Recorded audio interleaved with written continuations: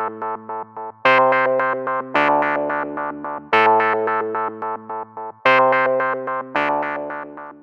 guys, let's talk about Lego. Andy here with you, and I appreciate you taking me along here. Got another, yet another parts order in uh, yesterday, and it's uh, quite the colorful parts haul here. We've got two by threes in light gray tiles, two by eight plate. We got some of those little doohickeys, the stud with the uh, bar on it some quarter rounds, some of them little light gray brackets, some Technic one by ones. Some of this stuff is for uh, building railroad crossings. Yeah, I, I, I, like I said last video, I did some research on uh, how to build a railroad crossing. So some of this stuff is for that project. We got some green quarter rounds. We got some lighter uh, leaves for tree building. We got some one by one modified the little clip uh, pieces. We got flowers. We got one by one tiles in yellow. We've got uh, those little round uh, brown pieces for tree trunks for putting around Technic axles. Got some one by four in uh, light gray. Some more flowers. Some one by ones and one by twos in red some of those uh, one by one studs in transparent red. Those are for the railroad crossing lights. Some one by eight tiles in light gray. Those are also for the railroad crossing for the for the tracks.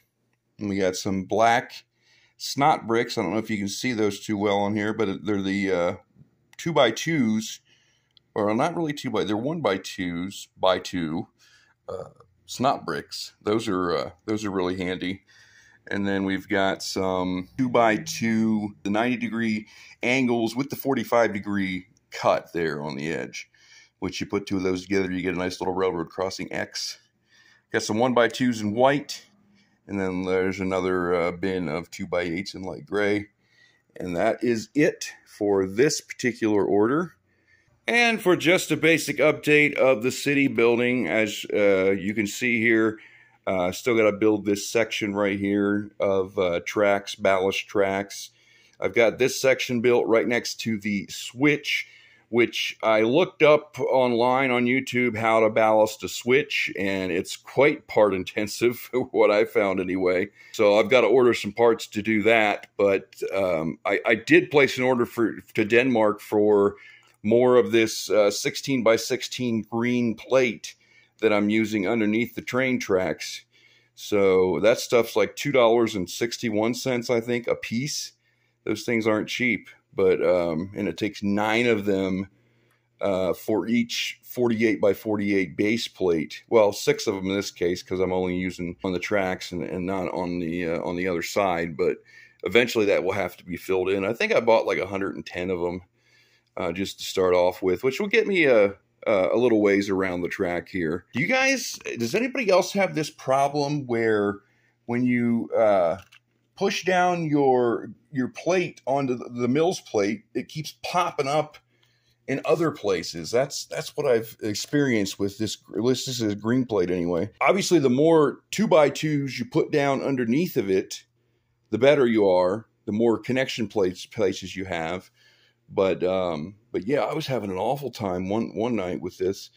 I, it was before I added some more two by twos, but it was like I was pushing it down, it was snapping into place, and it would pop back up again in one place, and I, you know, I snap it back down there, and then it'd pop up somewhere else, and it was it was really frustrating. And I was like, you know, thinking to myself, this is high quality Lego. This isn't knockoff stuff. So I don't know why I was having that problem, but uh, just curious if anybody else has had that issue in the past.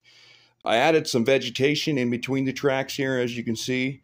I don't know if that's going to be permanent. I think it looks okay, but I mean, I, am not the I'm not a MOC builder. I mean, I'm, I'm I am a MOC builder. I'm getting into being a MOC builder, but it, I'm starting out, so I'm a freshman in, in, terms of that kind of stuff. So you guys let me know. Does that look okay? Does that look decent for you know greenery or, or foliage or just you know uh, in between tracks? So you tell me. And then I've, I've still got trees to build obviously, because I want to put more trees in here. But that's uh, kind of where I'm at right now. I wish I had more updates for you, but I mean, I would be I would be doing this track ballasting uh, all the way around if I had the parts to do it.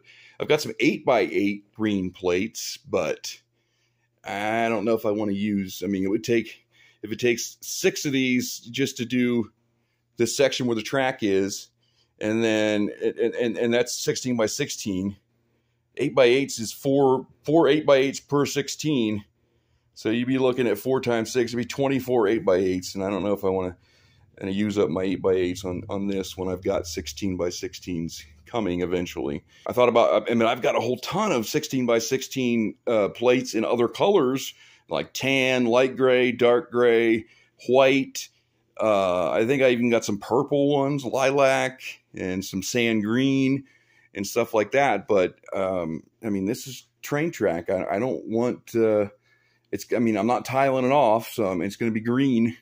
You know, in the middle and, and, and on the sides and stuff. I mean, after the switch, there should be a single track, so it'll be on the sides. But I want it all to be green, so so I'm going to have to wait for that plate to be able to finish any more of this uh, track ballasting or anything. But in the meantime, take a look at my telephone poles. What do you guys think of my telephone poles? Here's my take on it.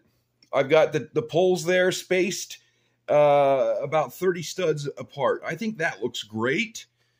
And then over here, I put them closer together and actually ran those, uh, I think they're called outer cables from, from Lego between those four poles right there. What what do you guys think of that? I personally think that makes them too close together. Um, I have not been able to find an outer cable any longer than that.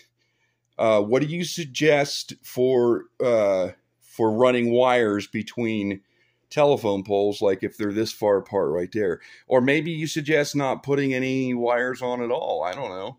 I think they look great um, that uh, with that spacing.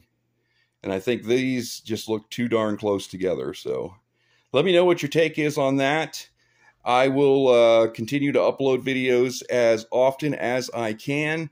Like I said, I wish I had more done uh, for an update for you, but that's that's kind of where I'm at right now. I've just got this new this new order I need to file in the drawers if I have room and uh, go from there. But hopefully, uh, well, I've still got to do I've still got to do some road plates I've got plenty more road plates to build, trees to build, and all that stuff. It's just that that's it's that re- repetitive in the background stuff that doesn't really, you know, um, doesn't it's not really too exciting. But yeah, I'll uh, I'll update you as I go here, and hopefully this channel can can get off the ground pretty soon. That's it for me today. I appreciate you guys taking me along, and let's talk about Lego. Thanks for watching. See you guys.